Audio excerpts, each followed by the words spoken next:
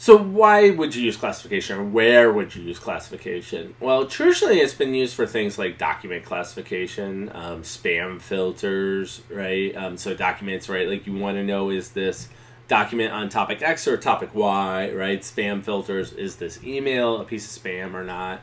Things like that. But in marketing, uh, in particular, in a lot of business contexts, it has a lot of applications, right? So you might want to know if a customer is price sensitive or price insensitive, right? You might want to know if they're early adopters or late adopters. You might want to know if they're credit worthy or they're risk of defaulting on a loan, right? Anytime you need that kind of targeting or customized strategy for um, your business problem, that's a great example of where you might want to use classification. And there's a bunch of common classification methods out there, from k-nearest neighbors to naive Bayes to logistic regression and support vector machines, and I'll discuss many of those in turn when we get to those sections of the course. So what does a supervised machine learning classifier actually look like? So before we get into details, I want to talk a little bit about how to measure whether or not you have a good model, right? And to understand the efficacy of a classifier, we want to use a number of different ways of looking at that model. And almost all, one way, the simple way to think of it is almost all machine learning models are essentially composed of some set of rules of the form if attribute X has value I, then target attribute Y has value J, right? Um, for instance, if the last call with the customer, X equals duration, lasted more than 10 minutes, X greater than or equal to 600, they will respond positively to the telemarketing Y offer, Y equals yes, right? Um, and so that's kind of a lot of them are composed of these rules. And if you think of machine learning in that way, it will help you to better understand some of the mechanisms that we can use to calculate how good we are at um, solving the problem that we're trying to solve. So imagine some example data like this where you have some income and some duration, right? And so each of these customers are an instance, right? Each of these columns, except for the last one, right, are features of the um, of the of the instances, right? These are the values of those instances, right? And this response to offer, that's the um, the target class or um, the dependent variable that you're trying to predict, right, of what's going on. So here we have three instances where we know the response offer, and we have one that we don't. So can we figure out a way to predict this one from the other examples? So one way we might judge whether or not a particular machine learning model is successful is by accuracy. And that's by simply saying of all the examples of the testing data set, what fraction did the model classify correctly? And this is the same as 1 minus the error rate, right? So essentially we we need to define the notion of a true positive and a true negative and a false positive and a false negative. A true positive means that your model predicted a positive event like yes right the person will respond to the to the to the attribute and in fact the the the person actually did respond to the telemarketing offer a true negative means the model predicted that they won't respond and in fact they did not respond right a false positive means that your system predicted that they would respond but they didn't and a false negative means your system predicted that they would not respond but they did so if that's the case, then accuracy is the number of true positives plus true negatives divided by the number of all the instances there are, right? True positives plus true negatives plus false plus false negatives, right? In other words, what percentage of the instances that you did not know the answer to did you go correctly? But the problem with accuracy as a measure of success is what happens if there are only 10 positive examples and 1,000 instances, right? Well, you don't have a lot to go on, right, in terms of predicting positive results, right? But more importantly, any model that just predicted all instances of negative is going to have a very high accuracy rate. In fact, it's going to have an accuracy rate of 99.9%, no matter what, because there just aren't those many positive instances. So if that's the case, then we often use, so because that's usually the case, we often use additional ways of measuring the performance of a model. One is we calculate the true positive rate and the true negative rate separately, right? And the true positive rate means of all the examples that are positive, what fraction did the model classify correctly?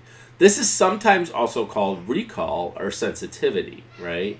Uh, it's called recall a lot of times in information retrieval. It's called sensitivity in uh, medical systems a lot. And it's the inverse of the false negative rate, right? So take the number of true positives, divide by the number of true positives plus false negatives, and that gives you the true positive rate.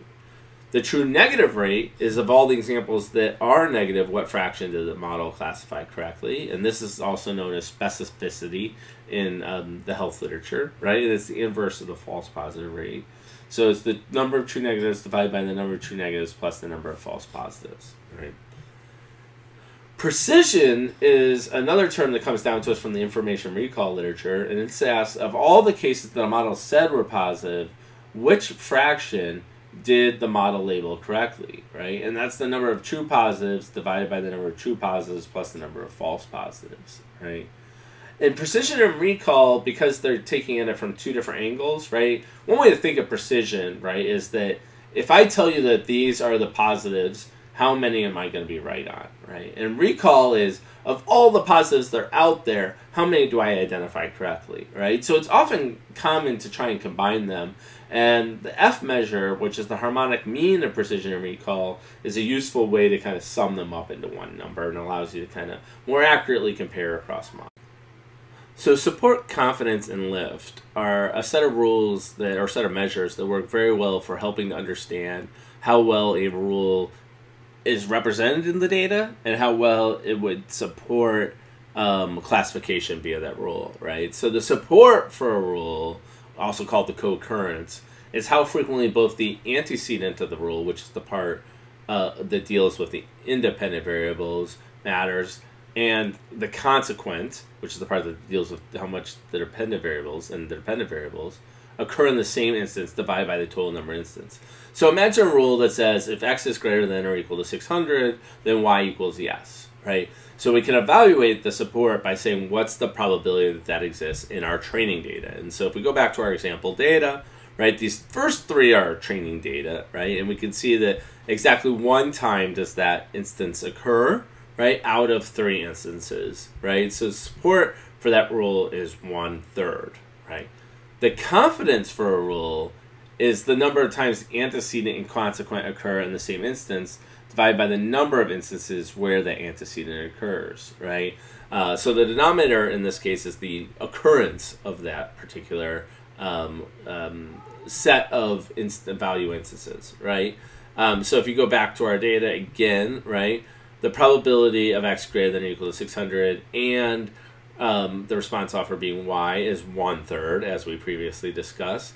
Now, how many times does the probability of x greater than 600 actually occur? Well, also one third. So one third divided by one third means that the confidence is one, right? That's the most times it could possibly occur, right? Um, so support is kind of a way of saying how frequently do these rules exist, right? How much support is there in the current data for it?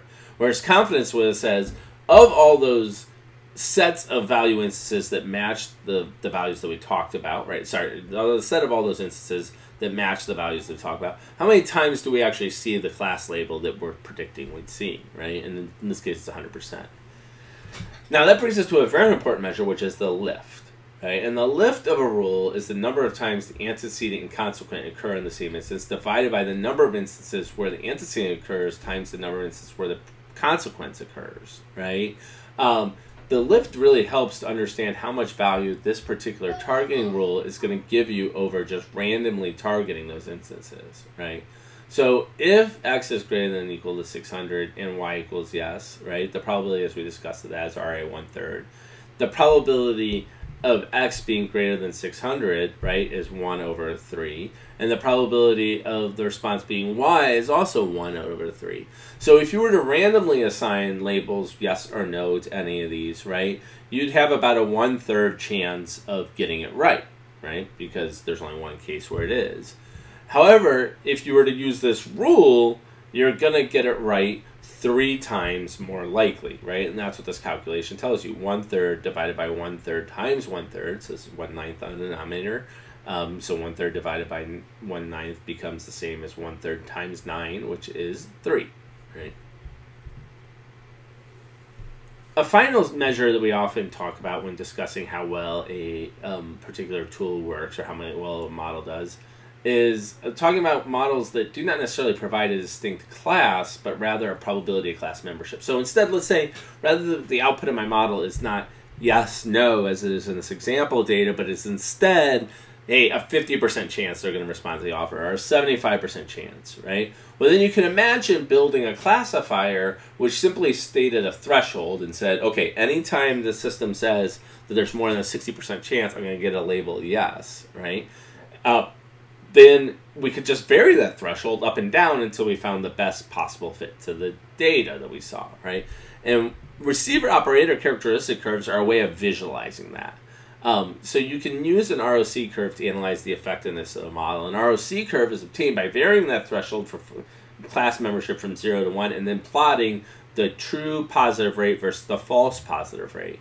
So ideally, if you have the best possible classifier, you'd have a line that basically went straight up and straight over, right? Because that would mean that it is able to achieve high levels of true positive values for low levels of false positive. But in reality, we almost always have some sort of curve, right? So this is a model, this is an example of comparing three different models that we built for, in this case, it was actually we were predicting whether or not some, whether, uh, what was the peak time to tweet to maximize the number of retweets you would get, right? And we use the seasonality, autoregressive, and aggregation of individuals methods, right? And you can kind of compare and contrast how the different models do at different points. So depending upon where you set the threshold, right, this aggregation of individuals method is going to work very well. But eventually, right, it's going to be the seasonality method that works better than either of the other two, right? So it depends upon, one way to think about this is how many false positives are you willing to suffer versus the true positives that you're able to identify, right? Um, so that's a final tool. And so one thing you could do if you want to sum this up on numbers, you can calculate what's called the area under the curve, which is just the total amount of area under the curve at a particular time. That's a brief whirlwind tour of all the different measures of machine learning that are out there, right? Or, or not all of them, but a, a snippet of some of them, I should say. It's a whirlwind tour of a snippet of some of them. There are plenty more out there. And a lot of them are even dependent upon the particular technique. And I just kind of wanted to lay out all the different techniques, um, not all of them, but many of them again, right? Um, so we already talked about the difference between supervised and unsupervised learning, right? So you kind of know a little bit about that. Um, there's also an area that's kind of almost in the middle called reinforcement learning that we haven't discussed and won't discuss in too much in this particular course, just too short. Um, but it is does have some useful applications in business. Reinforcement learning, the basic idea is that unlike supervised learning where you get a label right away, so I said this is a positive instance or a negative instance, and unlike unsupervised learning where I never give you a label, in reinforcement learning, you take a bunch of actions, and every now and then I give you a reward of some sort, right? And sometimes it's a big reward, and sometimes it's a poor reward. And you have to then back out from the actions you took what drove that reward, right? Um, and so if you think about this, a classic example of this in marketing is trying to determine what ads are doing the best for me, right? So I, you know, we put up a bunch of pay-per-click ads on Google search, right? And only very rarely do we actually see a click, right? And what ad actually drove that click, right? Was it the ad that they're actually seeing, right? Or was it maybe that they saw three other ads that led up to that ad, right? What aspect of those ads was actually driving that clicking behavior, right? Or maybe it's a group of heterogeneous consumers, right? And some ads are liked by some consumers and some are liked by others. And I kind of have to play around and show you a bunch of different ads to try and get you to identify one you like, right? So how do I decide to allocate those ads appropriately uh, in order to get the click that I want to get, right? Um, and one of the solutions to that is something called a multi-arm bandit, where you essentially envision all these different trials as different levels of a slot machine, and you're trying to figure out how to allocate those trials appropriately. Um, but there's also value functions, TD methods, and a bunch of other techniques out there. Um, in supervised learning, we're going to cover most of these techniques here, but there's other ones like Markov random fields and causal state modeling that we're not going to get into in this class. In unsupervised learning, um, we'll, we won't talk too much about that in this class, but there are techniques like k-means, clustering, and community detection, and principal component analysis, singular value decomposition. So, with that being stated, I just wanted to kind of wrap up our brief introduction to machine learning. And in the next uh, video, I'm going to start talking a little bit about RStudio so you have a brief introduction to that.